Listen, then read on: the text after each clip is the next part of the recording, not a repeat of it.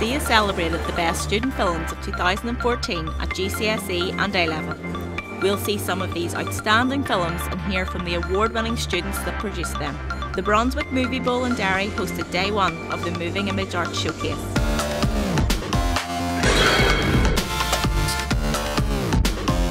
I've just been looking at the films and they look absolutely superb. Year on year we see great improvements with Moving Image Arts uh, films uh, submitted as part of the qualification.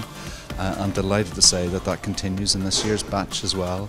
Uh, what really uh, encourages me is to see the really high quality and the broad spread of genre that students are now creating uh, film work in. You know, everything from humour through to, to great drama, gangster movies, you name it they're having a go at it, which is fantastic.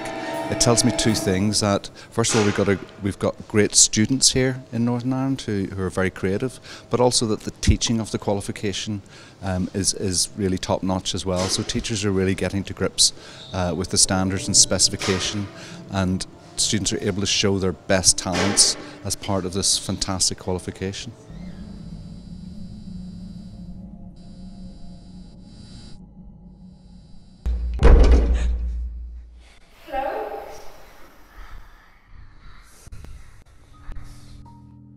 I uh, studied um, moving image at A level and um, now I'm going on to do a university degree in film studies in the University of Surrey. Doing moving image at A level was like, it really gave you that background knowledge to carry on and it just kind of got your creative process like in motion, sort of how you understand film and how it sort of works. The fact that like it was something different that I'd never done in school before and it was like really creative and really practical just kind of broke up the sort of academicness, and that's really what I've always wanted to do. So it was good fun to actually put my career plans in motion. The things that we've learnt in Moving Image, I've now carried forward into the degree, and it gives me like that sort of higher level when I'm doing my essays and stuff for my modules.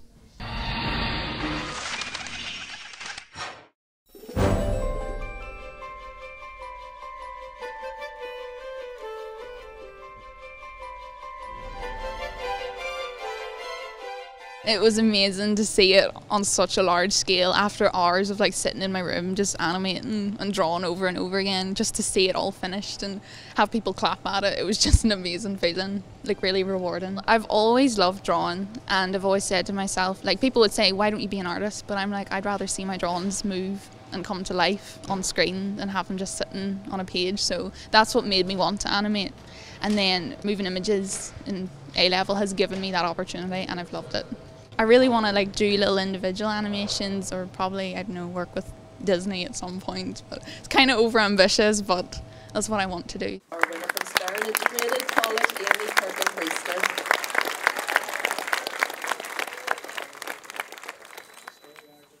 It must feel great to have four award-winning students at this event today. Unbelievable, Emma. Like for the kids to have this experience, wonderful uh, arena for them to see their movies, big screen, friends and family here, uh, their school colleagues. It's just fantastic, you know.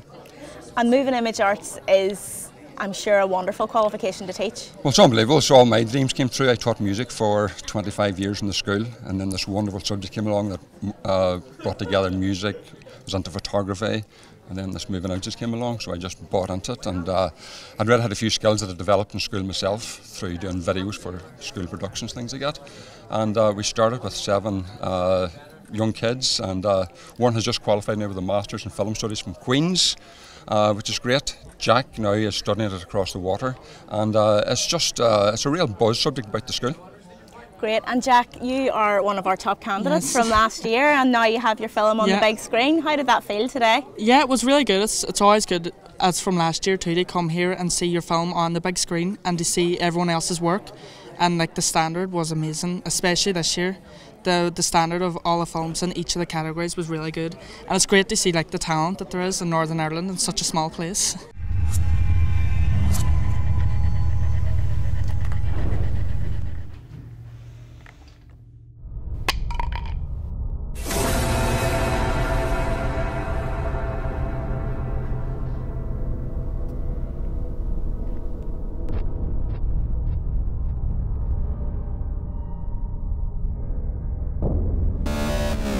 We caught up with more of our award winners on day two of the Moving Image Art Showcase at the Queen's Film Theatre Belfast.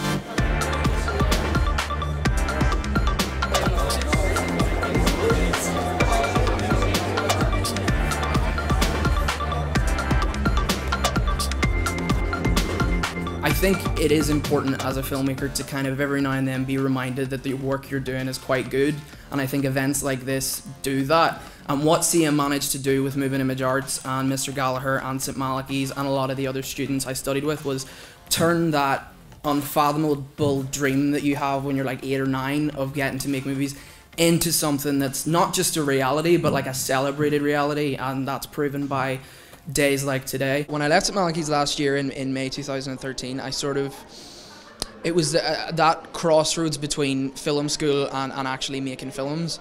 And i was lucky enough at that stage to have a really great network of, of talented and creative people around me. So what we did was we took the kind of i took the year between uh, leaving st malachy's and, and now uh, to work on, on films and stuff. And I produced a, a, short. And then this summer we just yeah we just directed uh, I just directed my first feature which was very exciting it's a really good time to be making films, especially in Northern Ireland. It's kind of become something of a hub for the creative industries.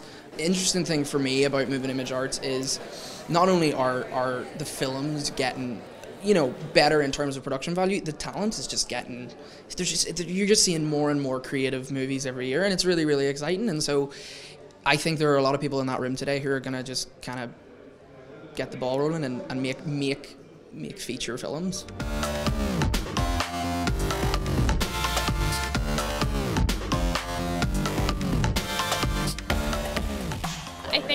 most about it is seeing the whole process from start to finish, like just the ideas in your head and then getting it sketched down and then actually seeing it like come to life on the screen is probably my favourite part of it.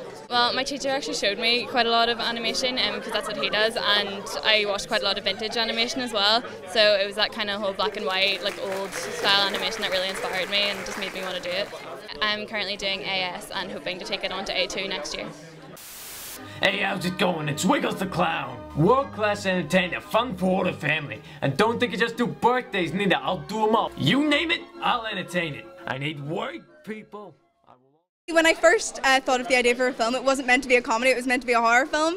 And it was my, my wonderful moving, art, moving image arts teacher that suggested to make it into a comedy, and I'm, I'm so glad he did. It was, it's, uh, it was such a good experience to, to make.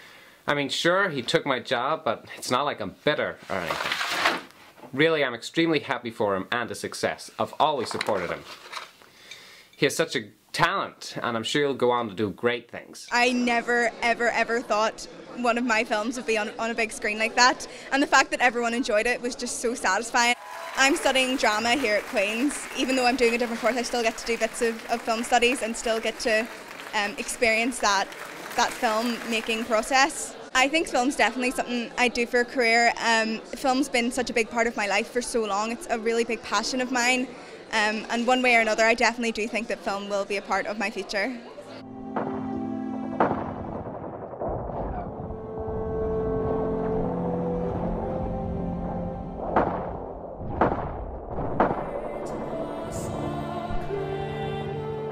I really didn't expect for it to come first, and it was just overall I was really proud to see it on the screen and like be with my friends and them to experience with it with me.